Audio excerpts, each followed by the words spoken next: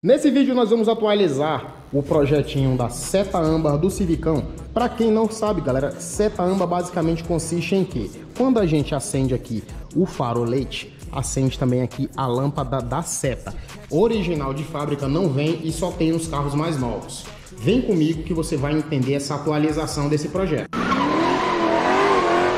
Liguem os motores e vamos para mais um vídeo. Eu sou o Alisson. Galera, Todo mundo sabe que a gente faz várias e várias coisas aqui no Civicão, como coloca ali a capa da pinça, plotamos recentemente, tá esse azul simplesmente lindaço.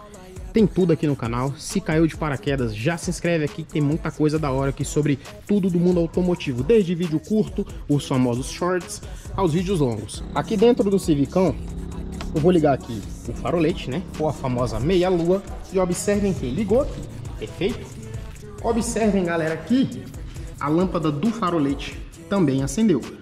Como eu falei, original de fábrica não tem isso. Inclusive, temos vídeo aqui no canal ensinando como fazer isso daqui. É esse vídeo aqui, mas não sai daqui antes de você ver a atualização que vai ser feita não, beleza? Para quem assistiu o primeiro vídeo, sabe que para fazer a instalação, no caso do Civic, a gente precisa retirar o, para, o para-barro, que inclusive recentemente até estraguei, tenho que comp comprar né, um novo para-barro. A gente tira o para-barro aqui, galera, bota a mão por dentro e arranca a lâmpada aqui por dentro. Perfeito? Vamos lá. Ó, olha só. Aqui é a lâmpada que, inclusive, não é a original, tá? Por quê? A lâmpada original, ela tem um polo apenas. Essa aqui tem dois polos. Não sei se a câmera vai conseguir focar aqui, mas ela tem dois polos, que é justamente um polo para ficar aceso o tempo inteiro certo? E a outra para quando dá seta piscar.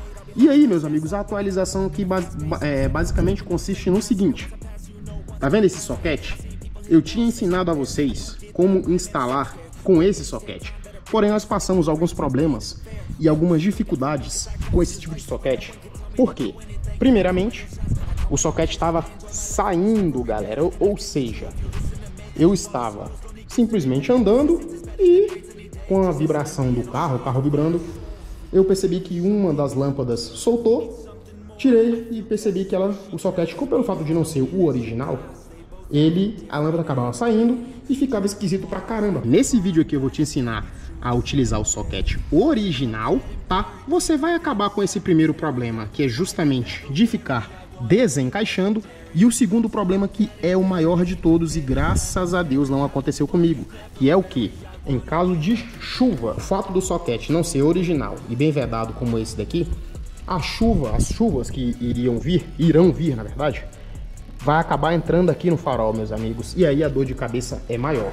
Então assim, assista um outro vídeo onde eu expliquei a fazer toda a fiação.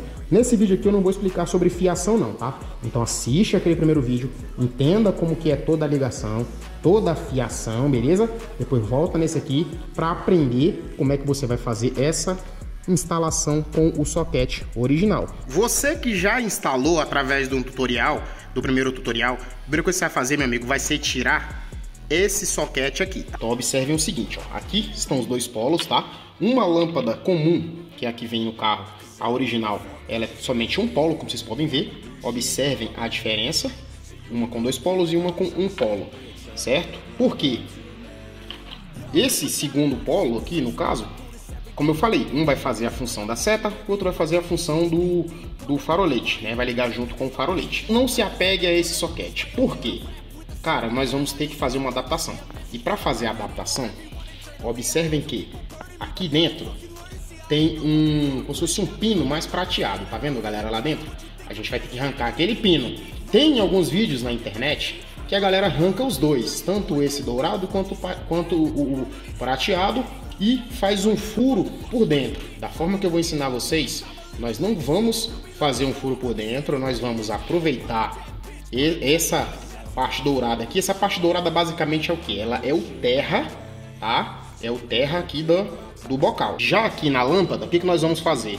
Nós vamos pôr um pouco de estanho, né? Para quem não sabe o que é estanho, é esse, esse carinha aqui, tá? Galera, pega a visão no seguinte: se você não sabe soldar leva numa pessoa que saiba soldar para você não fazer besteira, beleza? Então, ó, uma ponta você vai estanhar, obviamente cortar, né, deixar bem bonitinho aqui, soldar em um polo desse daqui e a outra ponta, a mesma coisa, soldar no outro polo. Basicamente isso, tá? Aqui nós vamos fazer furo na lateral aqui por fora, tá? De uma maneira aqui que consigamos passar os fios por aqui por dentro. Os fios vão vir soldado aqui. Vamos passar o fio por dentro, de uma forma que saia aqui nas laterais, perfeito. E aí sim a gente vai fazer a ligação ali no carro, demorou? Observe que eu já estanhei aqui as pontas dos fios.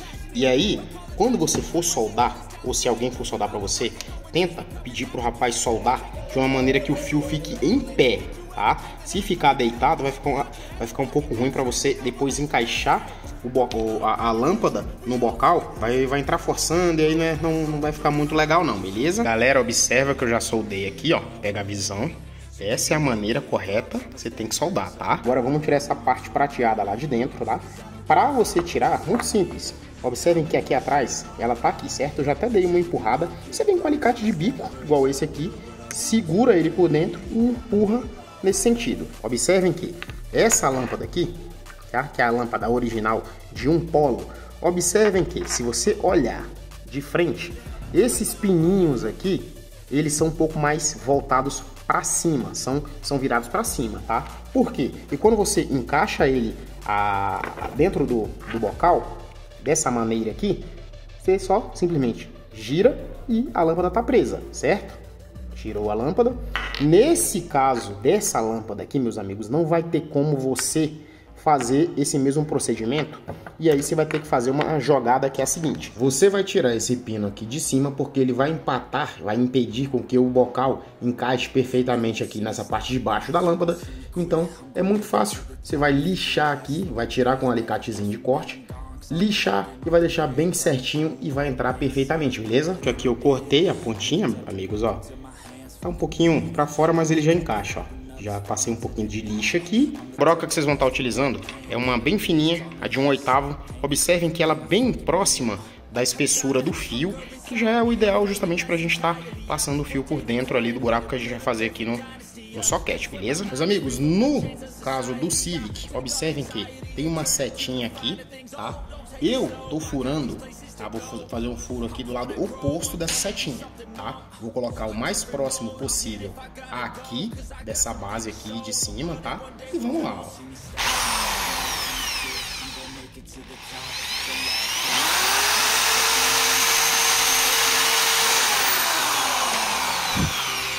Após ter feito os furos, vocês vão colocar os fios aqui por dentro, beleza?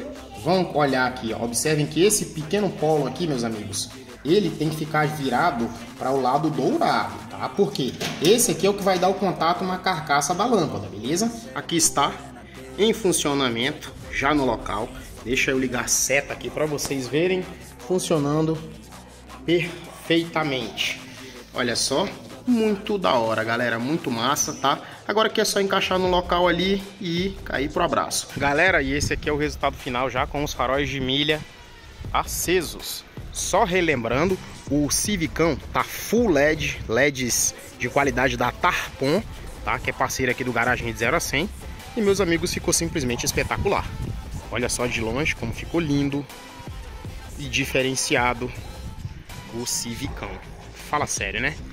Muito top. Gostou do vídeo? Já se inscreve aqui no canal, ativa o sininho das notificações para não perder nenhum conteúdo. E antes de sair desse vídeo aqui, galera, dá uma olhada nesse vídeo aqui que eu ensinei você como você tá ligando aqui o farolete, a seta e o farol de milha na chave quando você desbloqueia, destrava o carro, demorou? Sem mais, fiquem com Deus, um abraço e até o próximo vídeo do Garagem de 0 a 100.